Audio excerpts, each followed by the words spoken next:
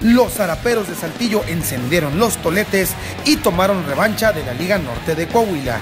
Esto tras apalearlo por 17 carreras a 1 y así conseguir el pase a la gran final de la Copa Gobernador 2016, en donde se enfrentarán a los aceleros de Monclova en aras de su séptimo gallardete estatal. En la baja del tercer capítulo, la nave verde hizo estallar la pólvora con sus maderos y consumó un rally de nueve carreras que los encaminaron a la victoria. Gran slam de Cristian Zazueta y palo de cuatro esquinas productor de tres de Justin Green en dicho episodio los llevaron a tomar amplia ventaja. En la quinta alta, el combinado de la Liga Norte de Coahuila rompió el cero gracias al sólido indiscutible de Manny Mejía, que se llevó por delante a Henry Pichardo.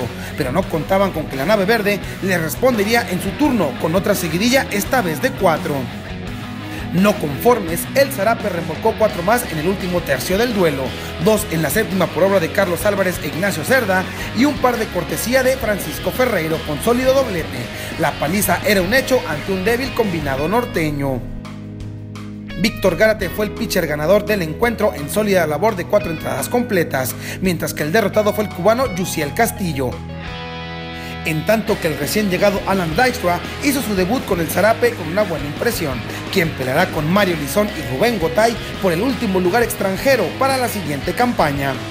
Los acereros de Monclova blanquearon a los Vaqueros Laguna por seis carreras a cero y consiguieron su pase a la gran final de la Copa Gobernador 2016 que se disputa en Nueva Rosita. Los zaraperos de Saltillo buscarán su séptimo título de la Copa Gobernador, confiados en la labor monticular de Marco Camarena, en tanto que los acereros de Monclova van por su tercera corona con Héctor Velázquez como pitcher abridor.